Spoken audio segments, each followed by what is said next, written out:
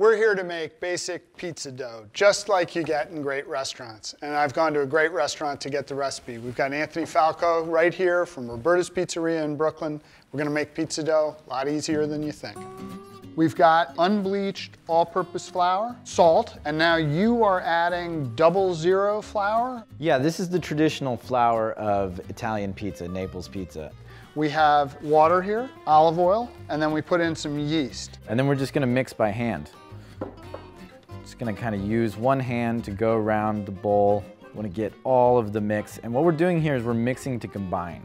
Now, mixing to combine, that basically means we want to mix it just until it's come together as dough, and then we want to stop. And then we're just gonna let it sit for a little while? Yeah, we're gonna let it rest. All right, for how long? Uh, you know, it depends on the temperature of your room, but I would say about 15 minutes. It's almost there. We just need to coax it a little further along with some kneading just until it becomes really silky smooth. And then we're gonna separate it into the two pizzas that it's gonna make. Then we're gonna just gently roll it into a ball. So we're gonna put a little bit of our flour on the bottom of the plate Yep, so it doesn't stick. got it. And then we're gonna cover it.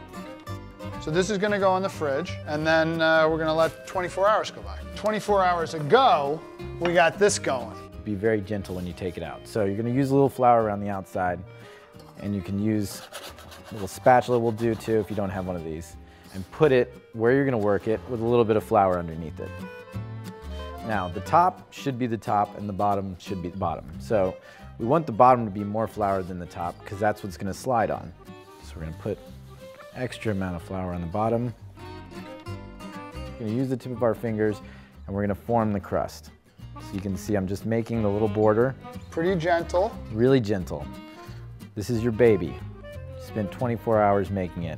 Now is the time to be gentle. Okay. So when you pick it up, gravity is gonna start working and it's gonna stretch out the pizza dough mostly for you. And we're gonna just move it back and forth, moving it in a circular fashion. But also kind of rotating it a little bit. Rotating it and moving it back and forth. Now it's already grown a little bit. We're trying to get to about 12 inches. Okey So now you can do that. And if you really wanna speed up the process, you can use your fists. Ooh, kind of now just we're like getting pretty Mario that. Brothers. We wanna apply just a little bit more extra flour onto it. We're gonna flip it over. Okay.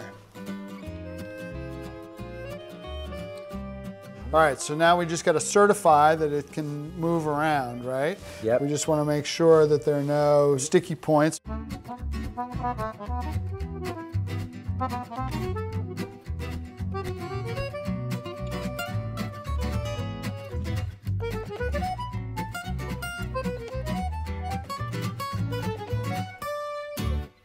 So this is a metal peel that we have. What if I don't have a peel? If you don't have a peel, you could just put it on a cutting board and slide it onto the Oh, pizza stones from there. same principle.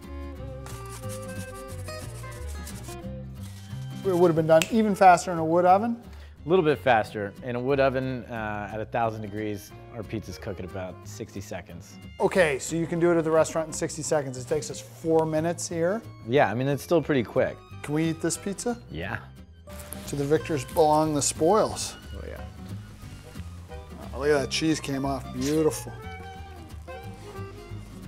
Oh, hot. A little hot. Good though. Really good. Mm-hmm.